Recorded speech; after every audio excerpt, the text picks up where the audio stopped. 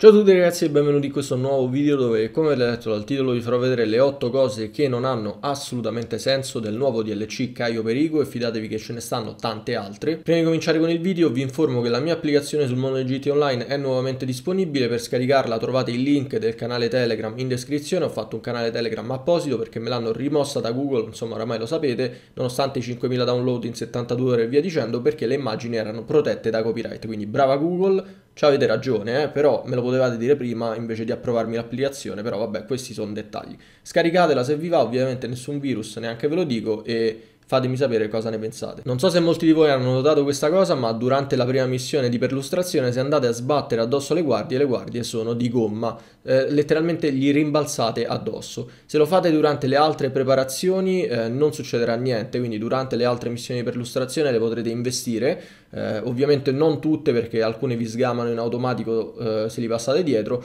però durante la prima missione se li andate addosso sono fatte di gomma praticamente, vi respingono così senza problemi. È una cosa proprio che io ho provato distinto perché insomma durante la prima missione a Caio invece di guardare l'isola io andavo addosso alle guardie per vedere la reazione di Arrubio che se ne è sbattuto altamente. Sempre durante la prima missione insomma lo sapete che bisogna aspettare qualche secondo che, che Pavel ci dia l'ok, noi intanto dobbiamo far finta di divertirci alla festa organizzata e eh, poi dobbiamo scappare praticamente passando dietro a questa guardia. Ovviamente finché non vi arriva il messaggio di Pavel non potete, però guardate qua, praticamente se voi vi mettete qui invece di ballare e aspettate il messaggio di Pavel, guardate che questa cosa non ha assolutamente senso. Praticamente anche se gli state davanti la guardia se ne andrà senza problemi e voi potrete andare. Quindi da questo punto di vista Rockstar si poteva un attimo impegnare di più, poi vedete qui stavo proseguendo ma la guardia mi ha respinto con la forza del pensiero, non so come abbia fatto onestamente, però come vedete praticamente non lo so, è un bug, immagino, una cosa che comunque devono sistemare e onestamente mi fa pensare che questo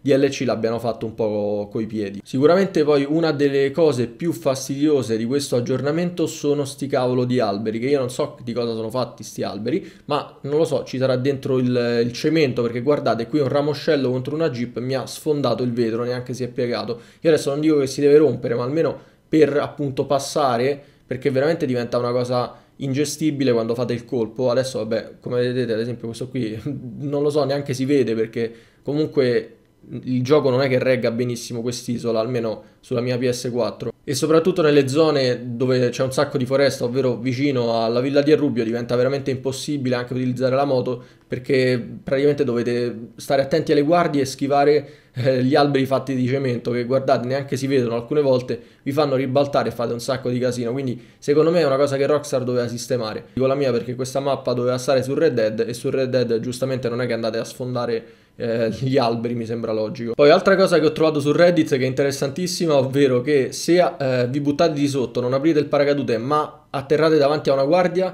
invece di morire, giustamente la guardia vi arresterà, quindi guardia eh, che vi salva la vita. Immagino sia un bug, eh, onestamente non lo so, però se è un bug Rockstar logicamente lo deve correggere. Nel primo video che avevo fatto sulle posizioni, insomma, degli oggetti da utilizzare durante il colpo, tutti quanti mi hanno chiesto ma dove trovo il tagliabulloni? Ragazzi, il tagliabulloni penso sia una delle cose più inutili di questo DLC. Ditemi quando avete fatto il colpo con il tagliabulloni. Io ve lo dico, la prima volta perché eh, ero spawnato praticamente lì vicino e giustamente durante il primo colpo, insomma, durante il tutorial vi fa trovare il tagliabulloni, che alla fine comunque è inutile e vi spiego anche il perché. Per se sbloccate l'entrata canale di scolo avrete una missione preparazione in più che si chiama torcia a gas. Con questa torcia a gas potete entrare dal canale di scolo, fare tutto ciò che potevate fare con il tagliabulloni, quindi mi dovete spiegare il senso del tagliabulloni. Una prep in meno, ma non è neanche una preparazione perché ci mettete 3 minuti a prendere il, eh, la fiamma ossidrica, quindi è veramente una cavolata e poi potete completare il colpo in neanche 5 minuti entrando dal canale di scolo, invece col tagliabulloni no. Poi il tagliabulloni lo dovete trovare, dovete pregare che vi spawna, cioè ci devo pure perdere tempo, lo devo pure andare a prendere e non serve a niente, quindi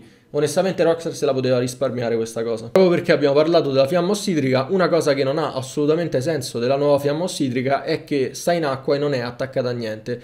Adesso io ho un attimo cercato su internet e giustamente le, mi ricordavo bene, insomma, le fiamme ossidriche hanno eh, solitamente una bomboletta di gas per appunto far accendere la fiamma. Come vedete la fiamma ossidrica è una pistola senza niente sotto e questa cosa non ha minimamente senso. Anche in questo caso Rockstar si poteva un attimo eh, impegnare a sistemare questa cosa perché insomma Rockstar è sempre precisa soprattutto nelle piccolezze, però vi ripeto, questo DLC mi sembra fatto un po' di fretta. Poi, altra cosa che penso sia la più insensata di tutto il DLC è durante questa missione di preparazione per il colpo, che se non erro dovete prendere eh, il tastierino o robe del genere, insomma non mi ricordo. Comunque entrerete in questo magazzino eh, in cui appunto ci, ci sarà appunto un computer da hackerare, ma ci saranno anche dei completi da narcotrafficante. Adesso voi mi dovete spiegare il senso di questa cosa, perché io devo rischiare la vita, andare sull'isola e per trovare questi completi quando ce l'ho qui. Quindi qui basta che li prendo, sto allo Santos, li consegno.